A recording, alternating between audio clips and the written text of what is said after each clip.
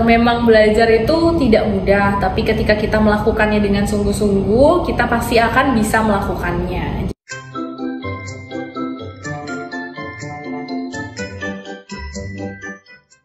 Halo teman-teman media muda, apa kabarnya nih? Semoga sehat selalu ya. Perkenalkan aku Duma uh, yang sekarang akan menjadi host di Yang Muda Bercerita. Jadi program Yang Muda Bercerita itu adalah uh, tempat di mana kita akan mengundang anak-anak muda untuk berbagi kisah, menceritakan tentang kisah hidupnya di sini.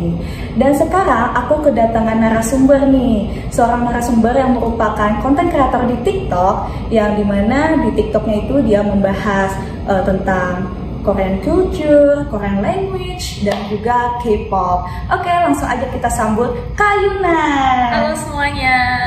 Halo, uh, boleh perkenalan dulu, tapi aku mau pakai bahasa Korea. Oh boleh. Ya. 네 안녕하세요. 저는 틱톡커 전유나라고 합니다. 반갑습니다. Ih, uh, itu artinya apa tuh Kayuna? Halo semuanya, aku TikToker, nama aku John Yuna. Nice to meet you.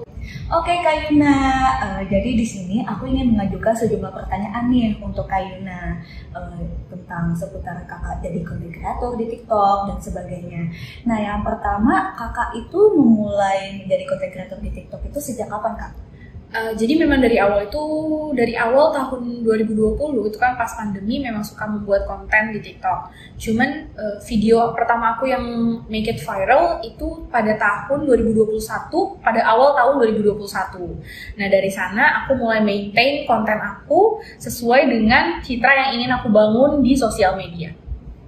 Uh, cara maintainnya itu kayak gimana kak? Boleh diceritain dong? Uh, jadi memang aku membuat saat pertama kali aku menjadi konten kreator di TikTok, aku membuat beberapa, eh, aku membuat banyak konten yang akhirnya uh, aku pilih dan aku research lagi mengenai konten-konten apa saja yang memang akhirnya uh, disukai oleh uh, disukai dan diminati oleh followers aku. Gitu. Uh, kira-kira apa nih kak konten yang disukai para followers kakak? Oh kebetulan karena Uh, jadi konten yang uh, saat ini disukai oleh followers aku itu adalah konten yang uh, berbahasa Korea. Jadi ketika aku mengajar uh, membuat video dalam menggunakan bahasa Korea, berbicara bahasa Korea, uh, penonton atau followers aku secara tidak langsung itu bisa belajar bahasa Korea. Banyak dari viewers dan followers aku di TikTok itu uh, lebih menyukai konten aku yang seperti itu. Uh, Oke okay, Kak Yuna, ngomongin tentang konten bahasa Korea nih, para followers kakak pasti pada penasaran dong, uh, kakak Yuna nih kok bisa lancar banget bahasa Koreanya ya? Tapi kira-kira belajarnya dari mana? Uh, jadi sebenarnya bahasa Korea aku juga nggak begitu lancar kok. Cuman memang aku belajar bahasa Korea itu cukup lama. Aku belajar itu dari umur aku 13 tahun, uh, which is uh, sampai sekarang itu ada tujuh tahun aku belajar bahasa Korea dan itu it by myself jadi memang otodidak. Um, kebetulan aku karena di tempat aku itu les bahasa Korea pun itu masih jarang banget sampai sekarang pun masih jarang. Jadi memang aku tanpa les jadi uh, cuman menggunakan drama aja jadi sering nonton drama. Yang aku serap kalimatnya aku buat sendiri latihan di rumah. Dan kebetulan memang aku punya beruntungnya aku adalah aku punya temen dari Korea jadi memang uh, bisa mereka bisa membantu aku dalam proses belajar begitu. Bantu dalam proses belajarnya ini kayak gimana kak?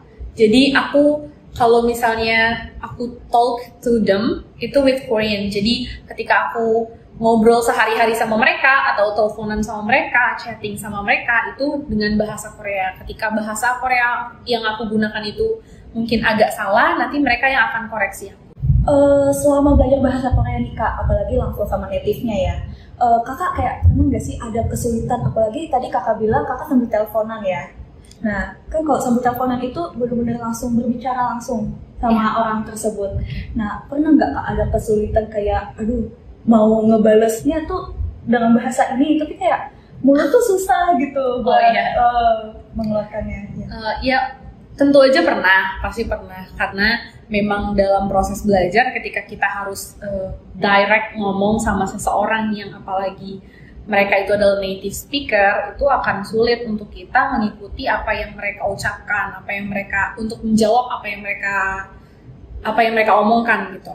Dan memang ketika hal itu terjadi maka yang aku yang aku lakukan adalah uh, I use English. Karena English itu kan memang bahasa internasional tapi setelahnya setelah pertanyaan aku misalnya jawaban aku misalkan dianggap mereka sudah benar dan and then aku tanya uh, berarti untuk menjawab uh, dengan kalimat yang tadi ingin aku tanyakan aku nggak bisa itu dalam bahasa Koreanya bagaimana ya? Nah, Kayuna, uh, Kayuna ini kan uh, sebagai salah satu contoh ya uh, orang Indonesia yang uh, cukup lancar berbahasa Korea, namun uh, belajarnya itu secara otodidak saja. Mungkin Kayuna ada tips atau pesan untuk teman-teman yang juga sedang berjuang belajar bahasa Korea secara otodidak? Uh, jadi gini, belajar sesuatu itu banyak caranya. Jadi untuk kalian yang memang uh, mungkin sama seperti aku yang memang kita terkendala untuk OS atau beli buku itu masih banyak caranya sebenarnya untuk belajar. Jadi buat kalian yang memang ada niat dan kemauan itu pasti berhasil untuk belajar. Oke, teman-teman media muda, sudah cukup kita sampai di sini saja dan terima kasih sekali lagi buat Kayuna atas uh, cerita-ceritanya yang sungguh inspiratif dan juga pesan-pesan uh, untuk para pemula yang sedang ingin mendalami bahasa Korea. Nah, uh, untuk kata penutup nih, jadi uh, Duma ingin meminta Kayuna untuk mengucapkan kata penutup tapi dalam bahasa Korea. 시작할까? 공부하는 거 말이야. 그렇게 쉬운 게 아니지만 열심히 하면 잘할 수 있을 겁니다. 그러니까 여러분 화이팅 하세요. Apa itu kak artinya? ya e, memang belajar itu tidak mudah, tapi ketika kita melakukannya dengan sungguh-sungguh, kita pasti akan bisa melakukannya.